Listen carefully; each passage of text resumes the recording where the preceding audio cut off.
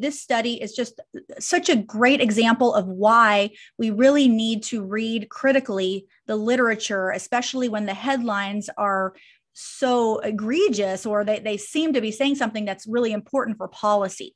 So, the title of this article that we're reviewing today is called The Value of Nurse Practitioner Inpatient Hospital Staffing. And it was published in the journal Medical Care and that was released in October of 2021.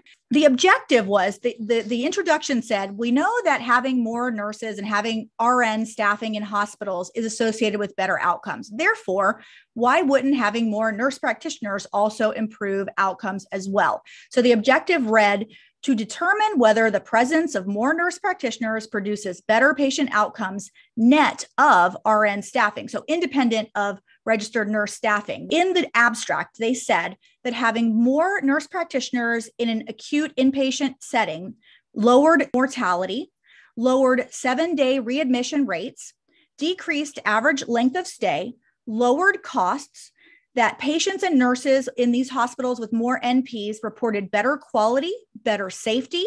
The nurses themselves, the RNs, said that they had less burnout, that they had higher job satisfaction, greater intention of staying in the job, and in summary, quote, having more NPs in the hospital has favorable effects and it adds value to labor resources. So that's a pretty bold conclusion that basically saying that it just so a wealth of improvements from having more nurse practitioners.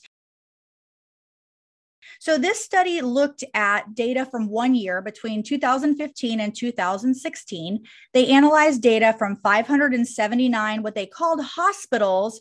But, Dylan, these were actually acute care hospitals or facilities. Can you describe how that might be different from what we think of as a hospital? It looks like it was mostly kind of acute care surgical patients. They're typically not as medically complex if possible. If, if the surgery can be held off, it, it, it's held off typically if there's significant medical comorbidities. So it kind of looks like they were looking at like surgeries that are just above outpatient surgeries, like they, they required a night or two or something. But in that situation, you could argue that NPs may be helpful as, ex, as extenders, but I think it's very far from the idea of where their conclusion lands, which is NPs should be inpatient. Essentially, they're they're stretching that to say that they should essentially become hospitalists and replace hospitalists. Right. I mean, just the title of itself of this article is inpatient care. And they don't mention in the headline, in the title, that this is specifically acute care post surgical care. This is not something that can be extrapolated to all hospitals, even if the results are valid. And then they looked at four states California, Florida, New Jersey, and Pennsylvania they randomly surveyed nurses and they got the nurses off of the state license lists. And they mentioned that, first of all, they didn't even know that these nurses even worked for the hospitals. They had to go back, I guess, and retroactively figure out. They asked the nurses if they worked for a particular hospital. And then they apparently went back and somehow manipulated the data because they said here the response rate of hospital nurses is unknown because our sample frame included all RNs without information on whether or where they were employed. In their survey responses, however, nurses told us whether and where they were employed, and hospital nurses provided their employing hospital name, enabling us to link respondent to hospitals, yielding a comprehensive database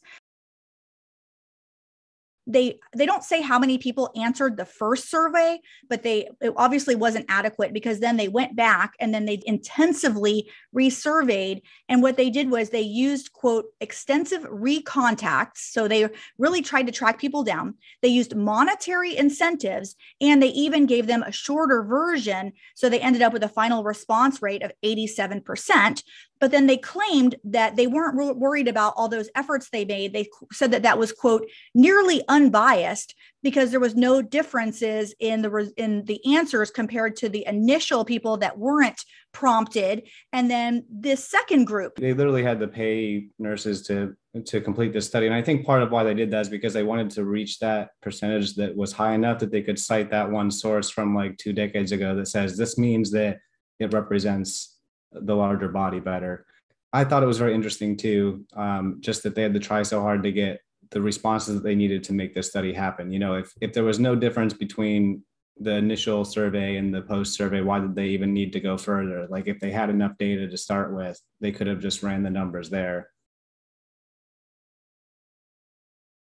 the the main way that they obtained their data everything was based on one number which was the ratio of nurse practitioners to hospital beds. And the way they obtained that was by asking these nurses who answered the survey to estimate the number of nurse practitioners working at their hospital.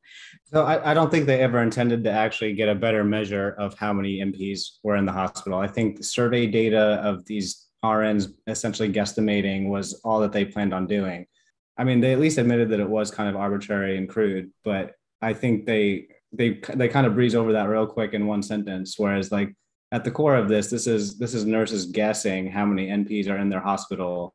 Yeah, these are registered nurses that are just hospital employees. That's like if you said to me, "Hey, you're you're credentialed at your local hospital. How many doctors do you think work at that hospital?"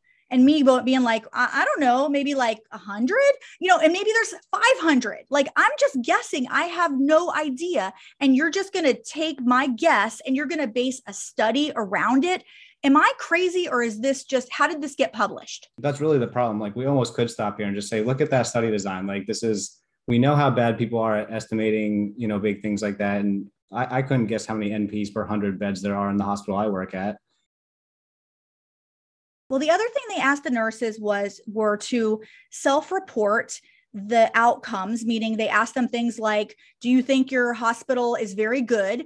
Do you would you recommend your hospital to someone else um, how how do you feel the administration responds and how do you feel patients do? Them is very very subjective. You're going to rns and you're saying hey number one how many um, nps do you think will work at your hospital? Number two do you like your hospital? Do you think that it's good? Are you happy with it? Number three and then so again this is all these are perceptions that people have and there's really no facts to base these feelings on. They may be true, but they may be completely untrue. And we don't know, and we have nothing to compare this against. And then ultimately, they claimed that the hospitals, the, the nurses that said that they had more nurse practitioners at their hospital rated that facility more highly. And then they went back and they, I guess, cross matched the number the facilities with more nurse practitioners according to nurses estimates as matching to having lower mortality, shorter average length of stay, lower costs. Let's go back to the lead author, which is who is Linda Aiken. She's a PhD with the Center for Health Outcomes and Policy Research at the University of Pennsylvania School of Nursing.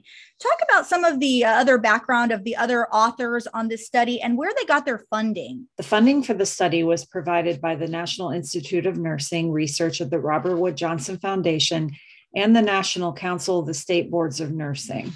Right. I noticed that all of the authors on the study were PhDs. There was a DNP, which is a Doctor of Nurse Practice, nurse practitioner doctorate degree, and that really that they all pretty much came from nursing schools and nursing institutions. So, Dylan, did you feel that there was a sort of a, a vested interest in these results being what they were? So that's one of the things that I kind of highlighted. Everyone there is a PhD or NP, and there's a, a DNP. There's nothing wrong with that, but you know, all of the funding sources were from nursing colleges at, at universities or the Robert Woods Foundation, things like that that have historically kind of pushed for more nursing practice rights and things like that.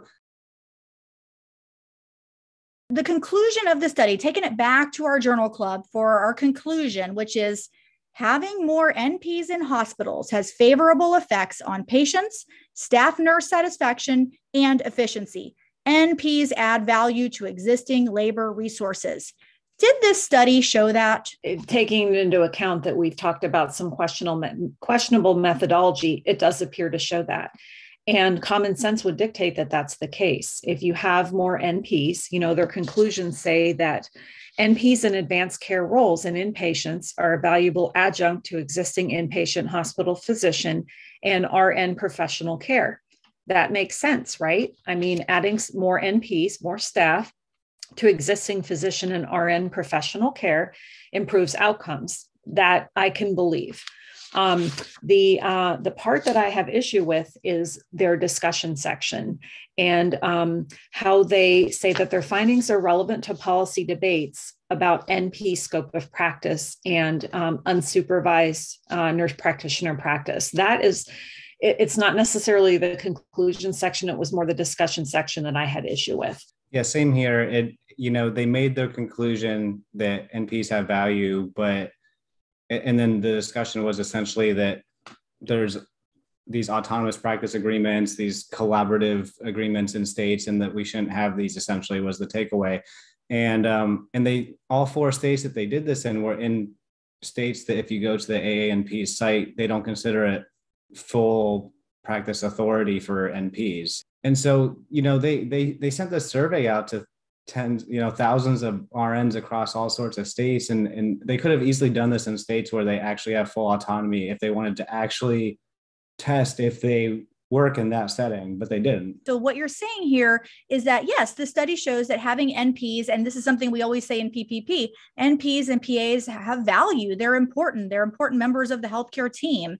And, but what the study does not say is that replacing physicians with acute care nurse practitioners in an inpatient setting is going to give patients those same outcomes or create all these benefits that they are kind of leading us to believe could happen based on this estimating study. If you'd like to learn more about this issue, we'd encourage you to get the book Patients at Risk The Rise of the Nurse Practitioner and Physician Assistant in Healthcare. It's available at Barnes & Noble and at Amazon.